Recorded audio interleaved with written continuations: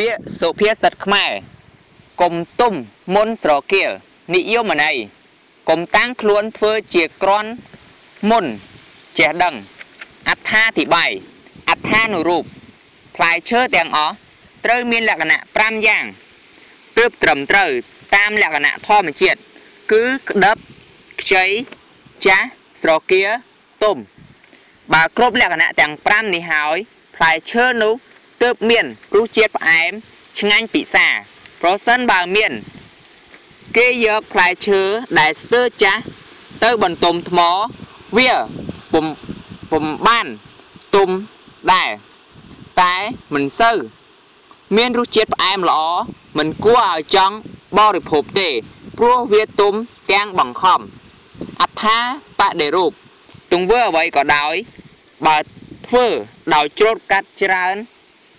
តែជួបនឹងផលវិបាកផ្សេងផ្សេងម្យ៉ាងទៀតមុននឹងចូលទៅប្រកបការងារអ្វីមួយត្រូវស្វែងរកស្វែងយល់ចេះអំពីកិច្ចការនោះជាមុនសិនសំចាប់ការងារនោះជាខាងក្រោយទើបមានប្រសិទ្ធភាព ទំនៀមទម្លាប់ប្រពៃណី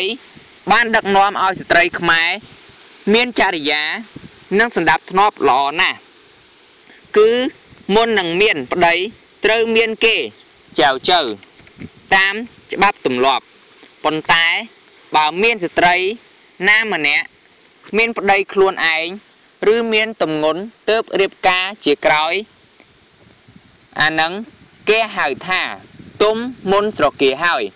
មានមន្ត្រីខ្លះបានចូលធ្វើការរដ្ឋឬចូល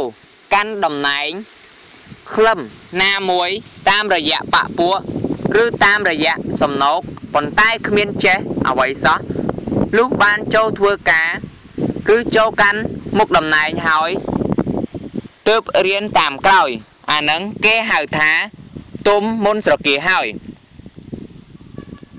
សាមណៈខ្លះបានបួសហើយទើបរៀនអក្សរឬរៀនធម៌តាមក្រោយ អានឹងគេហៅថាទុំមុនស្រគាដែរ